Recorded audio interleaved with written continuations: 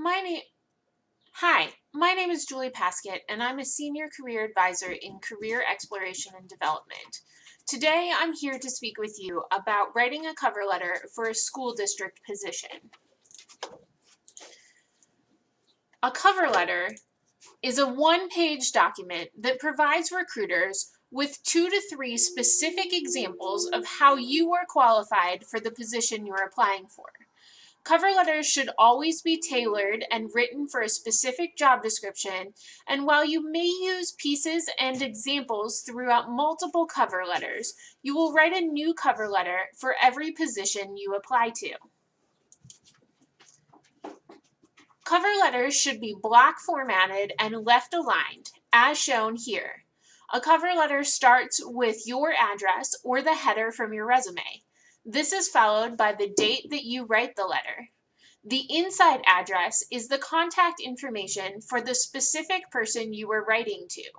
It is important to address your cover letter to a person, whether that be the superintendent, the director of human resources, a talent acquisition specialist, or the principal of the school or district you are applying to. Regarding content, we recommend a cover letter follow a basic four paragraph structure.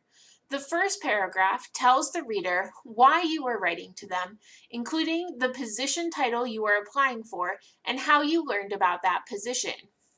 The second paragraph includes the most detail and should be the bulk of your letter. Here, it, you want to provide two to three specific examples of how you are qualified for the position, providing examples of times you demonstrated the skills they are looking for in candidates. Remember to address not just what you did, but how and why you demonstrated your skills. You do not want to simply restate your resume here, but rather enhance a few highlights from your resume in your examples.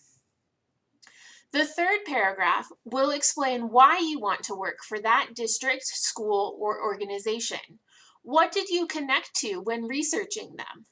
This paragraph need only be two to three sentences, but should refer to your prior research, including the school's values, mission statements, or teaching philosophy.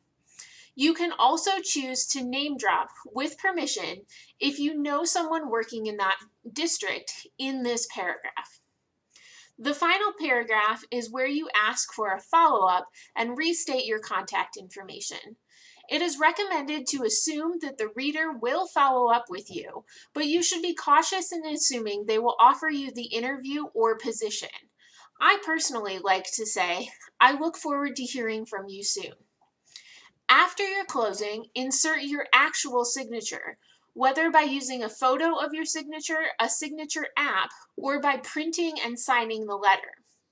My final tips for writing a successful cover letter are to always proofread thoroughly for grammar and spelling errors, to, to save it as a PDF before sending it, and to always keep it less than one page.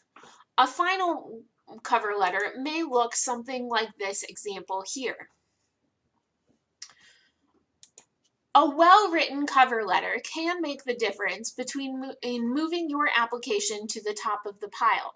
So for more information or assistance in writing your cover letter, contact Career Exploration and Development at www.kent.edu career. Thank you.